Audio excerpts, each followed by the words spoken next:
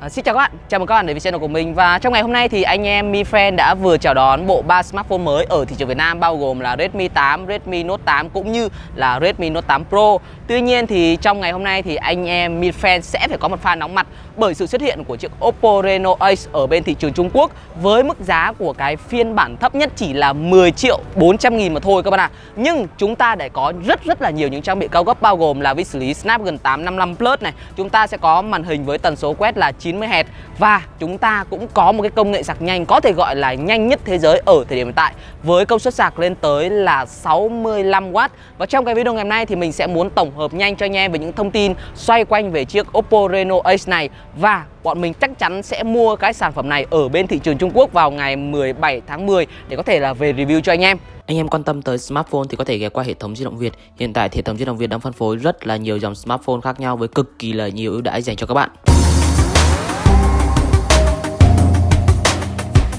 Vì đây là một sản phẩm hướng tới những bạn nào yêu thích gaming. Chính vì vậy mà thiết kế của chiếc Oppo Reno A ấy, thì nó có quá là nhiều những điểm rút gọn So với là những sản phẩm khác cận cao cấp Trong cái phân khúc giá trên 10 triệu của nhà Oppo. Ví dụ như là chúng ta có thể kể tới như là chiếc Oppo Reno 2 mà mình đang có ngày hôm nay. Nếu các bạn nhìn vào thiết kế của chiếc Oppo Reno A thì, thì các bạn có thể thấy là chúng ta sẽ không có cái dạng màn hình tràn panoramic stream mà chúng ta chỉ có cái màn hình dạng giọt nước mà thôi. Và với cá nhân mình thì mình không thích những cái màn hình dạng giọt nước giống như của là trên chiếc Reno Ace, nhưng chúng ta sẽ phải đánh đổi để có một cái cấu hình cũng như là những tính năng cao cấp nhất ở thời điểm hiện tại. Còn về phần mặt lưng của chiếc Reno Ace thì các bạn cũng có thể thấy ngay đó là Oppo đã cắt giảm về cái việc là ẩn bốn cái camera sau xuống cái phần lớp kính của mặt sau mà bên nhà Oppo thì làm nó hơi lồi lên một chút xíu. Và các bạn có thể thấy là mặt lưng của chiếc Reno Ace thì chúng ta cũng có rất là nhiều những cái lựa chọn màu sắc. Và phần mặt lưng này thì nó cũng được làm bằng kính. Kết hợp với đó thì chúng ta sẽ có phần khung viền được hoàn thiện bằng kim loại và nói lại về phần màn hình trên chiếc Oppo Reno Ace thì ngoài cái điểm trừ là nó sử dụng cái màn hình dạng giọt nước, mình không hề thích một chút nào cả.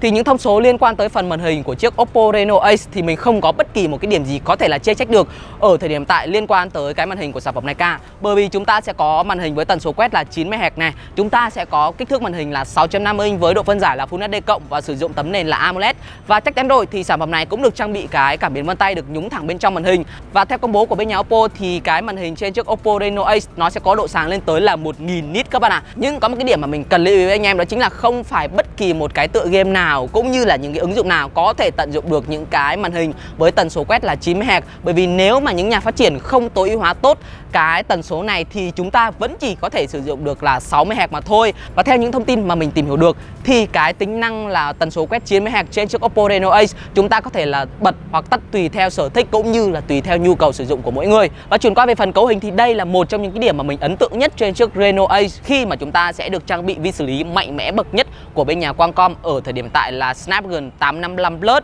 Bên cạnh đó thì chúng ta sẽ có rất là nhiều những tùy chọn về RAM và ROM. Thứ nhất, cái phiên bản thấp nhất thì chúng ta sẽ có 8GB RAM và 128GB bộ nhớ trong. Cũng như là phiên bản cao cấp nhất thì chúng ta sẽ có tới là 12GB RAM các bạn ạ. Và đây cũng là một trong rất là ít những chiếc điện thoại đến từ nhà Oppo mà chúng ta được trang bị cái chuẩn bộ nhớ là UFS 3.0 giúp cho chúng ta sẽ có những tốc độ đọc và xuất dữ liệu thì nó sẽ nhanh hơn rất là nhiều so với là những chi chuẩn như là UFF 2.1 hay là UFF 2.0 vân vân và vân. Và ngoài ra, để có thể chơi game tốt hơn trên chiếc Reno Ace thì bên nhà Oppo cũng trang bị cho chúng ta cái tản nhiệt lõi đồng ở bên trong của máy. Bên cạnh đó thì chúng ta sẽ có là Wi-Fi kép này, cũng như là 4G LTE kép luôn để giúp cho cái việc trải nghiệm chơi game của chúng ta khi mà chơi trên Wi-Fi cũng như là khi mà chơi trên 4G LTE thì nó sẽ có cái tốc độ cũng như là độ ổn định tốt hơn so với là những chiếc điện thoại có trên thị trường mà chúng ta không có cái chuẩn là Wi-Fi kép cũng như là 4G LTE kép và ngoài cái việc mà được trang bị cấu hình cực kỳ là mạnh mẽ để hỗ trợ chơi game thì bên nhà Oppo cũng tích hợp cái công nghệ sạc nhanh mới nhất đến từ nhà Oppo đó chính là Super VOC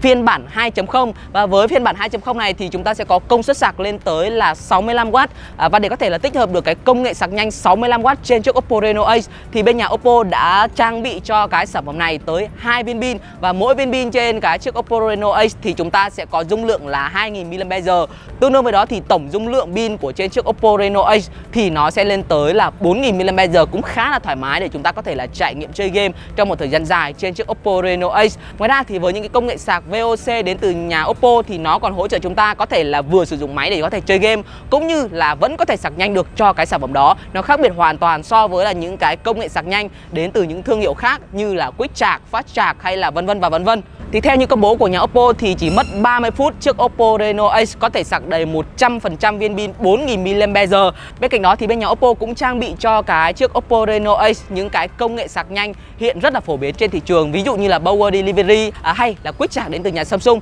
để giúp cho người dùng có thể có nhiều lựa chọn hơn trong cái quá trình sử dụng à, chứ không bắt buộc phải sử dụng cái công nghệ sạc là Super VOC 2.0 thì mới có thể sạc nhanh được cho chiếc Oppo Reno Ace. Và cuối cùng đó chính là về phần camera thì trên chiếc Oppo Reno A cũng được trang bị cụm 4 camera sau tương tự như của là trên chiếc Oppo Reno 2. Chúng ta sẽ có camera chính với độ phân giải là 48 pixel, sử dụng cảm biến IMX586 đến từ nhà Sony và nó sẽ có khẩu độ là f1.8. Chúng ta sẽ có một cái camera telephoto với độ phân giải là 13 chấm và nó sẽ hỗ trợ chúng ta là zoom hybrid 5x và chúng ta sẽ có thêm một cái camera hỗ trợ chụp ảnh góc rộng với độ phân giải là 8 pixel và một cái camera hỗ trợ đo độ sâu trường ảnh với độ phân giải là 20 megapixel. Còn về phần camera trước của chiếc Oppo Reno Ace thì chúng ta sẽ có độ phân giải cũng tương tự như kiểu là trên chiếc Oppo Reno 2 các bạn ạ. Vẫn chỉ dừng lại ở mức là 16 megapixel mà thôi. Và cuối cùng là về mặt phần mềm thì Oppo Reno Ace là chiếc điện thoại đầu tiên của bên nhà Oppo được trang bị hệ điều hành Android 10 mới nhất đến từ nhà Google. Ok, như vậy thì mình đã hoàn thành xong cái video tổng hợp nhanh cho anh em về chiếc Oppo Reno Ace, một chiếc điện thoại cực kỳ là ngon lành đến từ nhà Oppo. Các bạn suy nghĩ gì về sản phẩm này và những cái bạn mi fan nghĩ gì về chiếc Oppo Reno Ace thì đừng quên để lại ý kiến ở phần bình luận của video ngày hôm nay.